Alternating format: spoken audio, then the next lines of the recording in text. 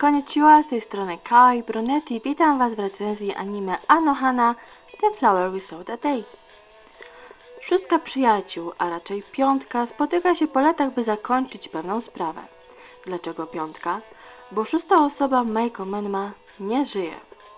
Nie żyje, ale widzi ją jeden z przyjaciół, Jinta Jinta Niedomi, który pewnego lata ujrzał ducha martwej koleżanki i od tej pory pragnie zebrać do kupy dawną paczkę, która po wydarzeniach z przeszłości nie ma już ze sobą nic wspólnego. Na pewno wielu z Was to przeżyło. Mieliście przyjaciela lub przyjaciół, z którymi się dogadywaliście, śmialiście, płakaliście, którzy byli dla Was prawie jak rodzina. Lecz z każdym kolejnym rokiem, z każdą cięższą sytuacją stawaliście się sobie dalsi, tak, że dzisiaj nie mówicie już sobie nawet cześć, nie widujecie się, a to, co było między Wami, to wyblakłe wspomnienia z dzieciństwa i przeszłości. Anohana pokazuje właśnie taką sytuację paczki przyjaciół, która w moim odczuciu już wcześniej była skazana na taki los. Dorastamy, zmieniamy się, a jeśli dołożyć do tego tragiczny wypadek, samolubne i osobiste uczucia, łatwo jest o zerwanie nawet najsilniejszych więzi. Menma, pomimo że jest martwa, dojrzała fizycznie i właśnie w takiej formie ukazała się Jintanowi, który od lat coraz bardziej zamykał się w sobie i rujnował sobie życie.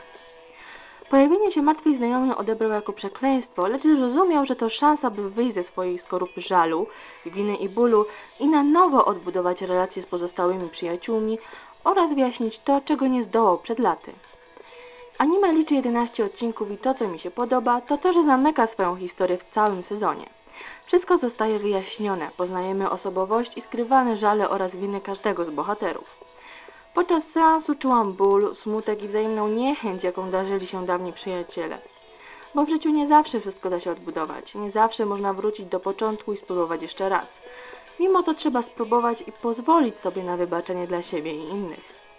Menma, niczym dawno wygasłe słońce, na nowo chce rozpalić w sercach swych przyjaciół miłość i wzajemne zrozumienie, chociaż nie będzie to łatwe zadanie, tym bardziej, kiedy jest się niewidzialną. Anime to bardzo dobra produkcja, nie ma tu miejsca na durne, schematyczne zachowania postaci. Potrafi zaskoczyć i poruszyć do głębi. Jest smutne, ale na końcu mimo wszystko zostawia jakiś promyk radości. Tak samo jak Menma.